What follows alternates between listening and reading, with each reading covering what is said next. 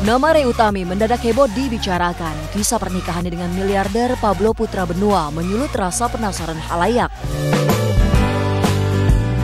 Siapa sebenarnya dua insan yang begitu mencuri perhatian ini? Berikut lima fakta mengejutkan di balik sosok Ray Utami dan Pablo Putra Benua serta kisah cinta mereka.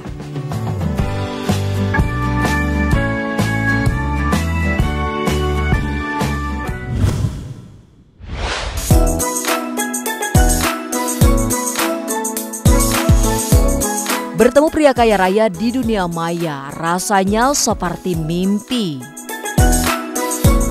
Tapi bagi seorang Ray Utami, mimpi itu sungguh menjadi kenyataan. Ia menemukan jodoh berkenalan dengan Pablo Putra Benua, seorang miliuner. Ini fakta yang amat mengejutkan. Awalnya sih ada banyak nama nih, bukan dia duluan. Ada Wagimin. Nih kayaknya nih yang jualan kerang nih di BKT nih, akhirnya di skip. Ada lagi muncul nama Narjo. Nih kayaknya jualan laser nih pinggir jalan nih di skip. Akhirnya ada nama satu Pablo Putra Benua. Wih, gila dari namanya aja nih kalau nggak pemain bola pemain telenovela ya kan? Keren gitu kan? Pas dilihat cakep juga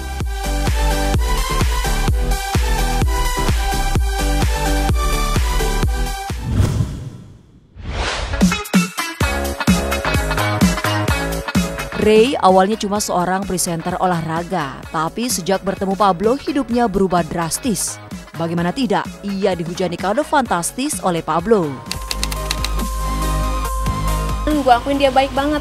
Kenapa baik? Karena hari kedua itu gue dibeli mobil.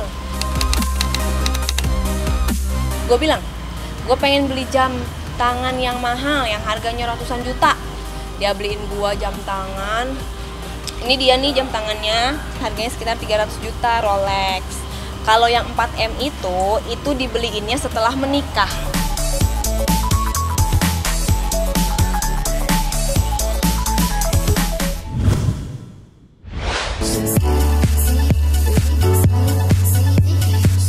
Dihujani kado super fantastis, Ray mengaku tak langsung luluh. Tapi fakta mengejutkan lain muncul. Di hari keempat berkenalan, Pablo mengajak Ray menikah. Gila! Nah, udah dibeliin jam nih, udah dibeliin mobil. Dia ngajak nikah hari keempat. Wih, gue bilang gini, ini nikah gitu loh, bukan ngajak ke puncak gitu kan. Cepet banget. Kita ngobrol-ngobrol-ngobrol, sampailah pada satu kesimpulan bahwasanya kita susah untuk nikah karena beda agama kan gue gituin maksud gue tuh pasti dia mundur kan gak mungkin lah dia dalam waktu singkat dia pindah agama gitu kan karena yang udah-udah gue gituin mundur. Ada yang ngeritin gue juga. Nah gue gituin besoknya dia langsung ke MUI Depok. Dia langsung jadi mualaf baca dua kalimat syahadat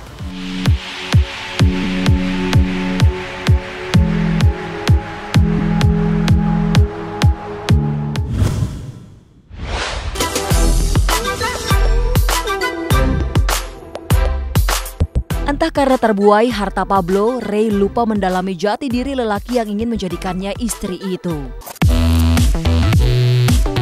Maka betapa terkejut Ray saat ia kemudian tahu Pablo ternyata seorang duda. Hari pertama dia cerita, kena, uh, hari pertama dia cerita dan gue kaget banget. Ternyata dia itu duda. Dan dia lebih kaget lagi, ternyata gue itu janda. Ya kan, janda ketemu duda. Pasti ya, barang-barang second sama lah ya.